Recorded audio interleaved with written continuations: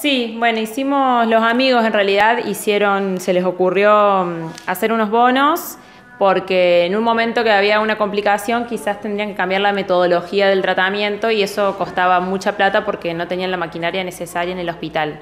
Entonces entre los amigos se les ocurrió juntar plata para eso, para darles una mano. Eh, gracias a Dios no se necesitó, pero siguió la iniciativa de juntar plata porque el proceso es largo, no saben cuánto tiempo van a estar allá y ellos tienen la familia acá y es un costo ir y venir, eh, la nafta, están durmiendo en el auto y en una reposera, o sea, esa es la, la realidad de ellos ahora.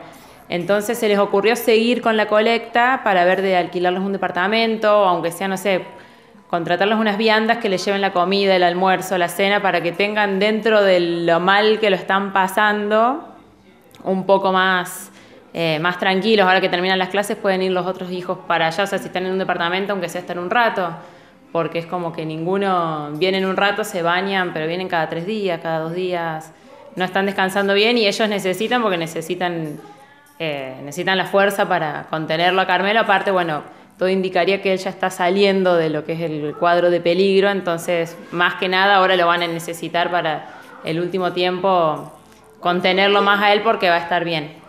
Contanos cuántos salen los bonos y dónde los podemos encontrar. Mira, los bonos cuestan 50 pesos y todos estos negocios que son, digamos, los que están, los que, los que van a aportar en el momento del sorteo, eh, van a tener puntos de venta. Fisura, Diuf, Guapas, Tierra de Chicos, eh, Locos de Amor, todos van a aportar en el momento del sorteo, que es el 23 de diciembre, y todos ellos tienen puntos de venta. Y si no, en las redes sociales hay un, grupo que es Todos por Carmelo, y ahí también pueden preguntar por los, eh, por los bonos, si no en, la en una ferretería a la vuelta de la, de la, escuela parroquial, no recuerdo el nombre, también van a estar vendiendo ahí.